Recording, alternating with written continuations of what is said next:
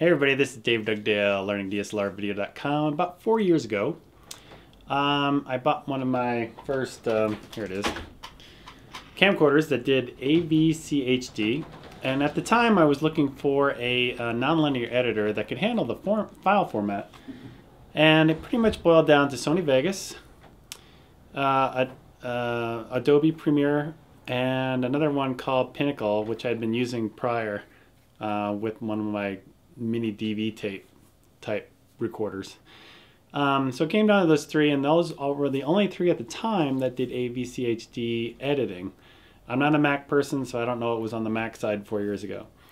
So I really took a look at that, and I chose Sony Vegas because I, I felt all the different trials um, that I used, I tried them all, and it seemed to be the easiest and best one to use.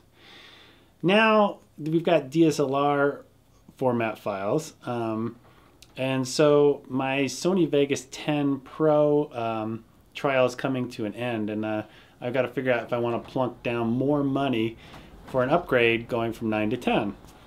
Um, so I'm, now I'm going back and taking a look at Premiere Pro CS5. So it's it's a lot of money. So it's one of those things I've been testing, and I got to say that Premiere Pro's um, I'm not even using their Mercury engine, but um, in terms of what's going on in the preview window and how it's um, being rendered, um, it actually looks really good. It looks better than Sony Vegas, and I'm not even using the Mercury engine yet because I don't have a uh, qualified card, video card that works with it.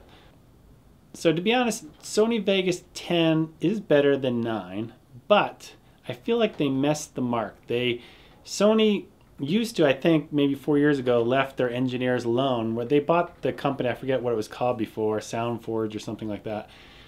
They bought the company and they let the engineers do their own thing, which was great. I even got to talk to some of them four years ago.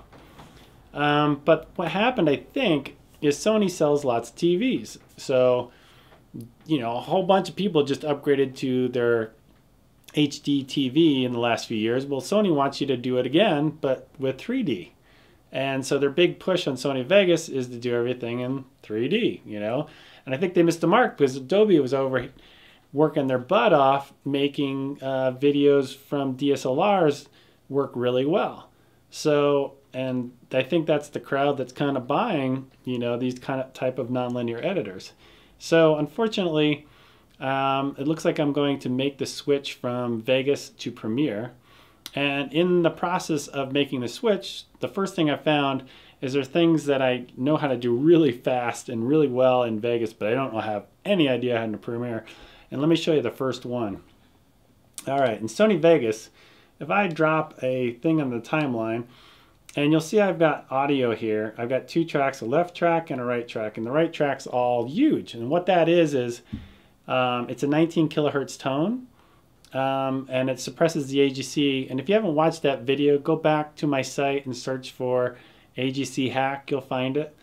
Um, so what I what it's really easy to do is you right click, you go to channels, and you go to left only, and you're done.